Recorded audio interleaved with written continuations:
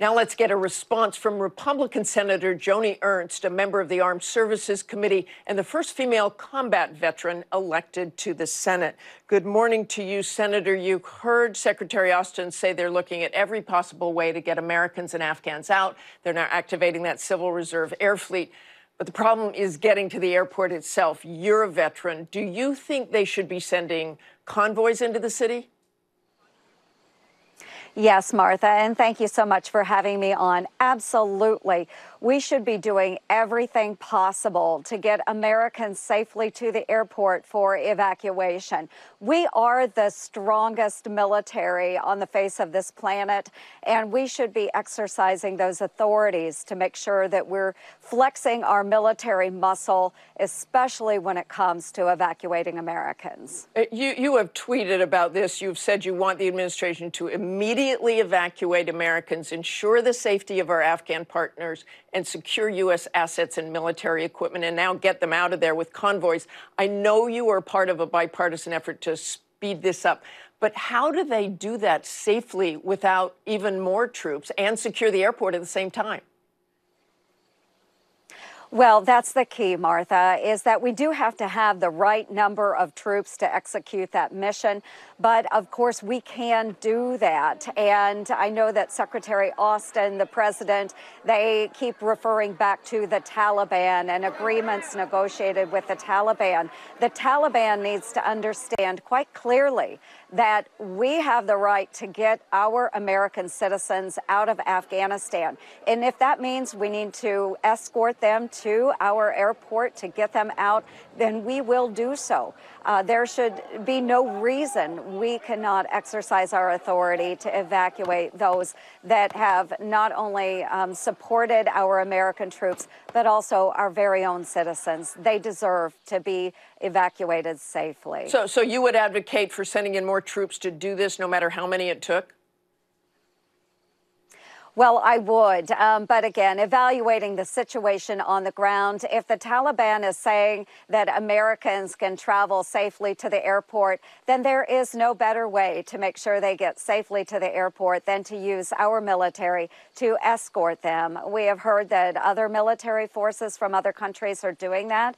Americans, we should be able to do that as well. I think it's important that we make sure we're upholding our commitment to our very own citizens to get them back to the United States. You know, we, we all want to get those interpreters out and, and those who helped Americans, but there is this catch 22 right now. Some of them had their paperwork destroyed or their passports because the embassy was evacuated and they did that to protect them but now they don't have that paperwork. And, and some of the people trying to get out are just regular Afghans. So, how do you vet them?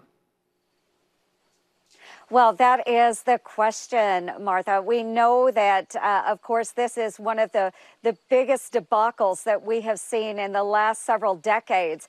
And the fact that we had to evacuate our embassy, the, the heart and soul of our consular activities and, and vetting process, all of that has been pulled out from under us. So it is much more difficult to vet those that need to continue through the vetting process and to make sure the Americans have safe passage to the airport. Um, we have been on the administration for months now to be working on the vetting process to make sure we're working with those interpreters to get them safely out of the country. The State Department, it has drug its feet. It has moved so slowly, and now we're at a point where these Afghan interpreters, other partners, are in deep jeopardy with the Taliban because they weren't able to get their vetting done on time. So it is important that we continue pressing on with this. If there are Afghans that need to be evacuated but aren't fully vetted, we do have third country partners that are working with us in this effort. We can evacuate these Afghans to those countries, continue the vetting process from there. And I think we should be doing absolutely everything everything we can to assist those who assisted us for the past two decades in the global war on terror. You, you, you talk about those third countries. There aren't a whole lot of countries that want to take these Afghan refugees. They have a backup in Qatar and, and where they'll resettle them. Would you or your Republican colleagues welcome them here? Well, we want to welcome those that are fully vetted. That is extremely important uh, that we make sure they are vetted before they touch down on American soil. And that is why it is so important that we continue working with these third country nations, providing them whatever support we can within those countries. And this is where President Biden, unfortunately, has really, uh, he's messed it up. I'll, I'll just put it out there.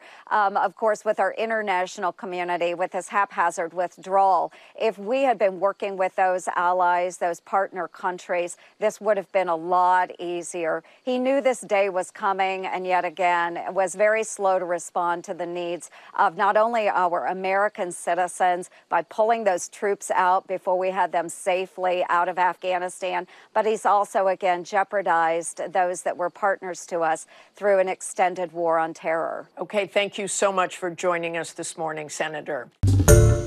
Hi, everyone. George Stephanopoulos here. Thanks for checking out the ABC News YouTube channel. If you'd like to get more videos, show highlights, and watch live event coverage, click on the right over here to subscribe to our channel. And don't forget to download the ABC News app for breaking news alerts. Thanks for watching.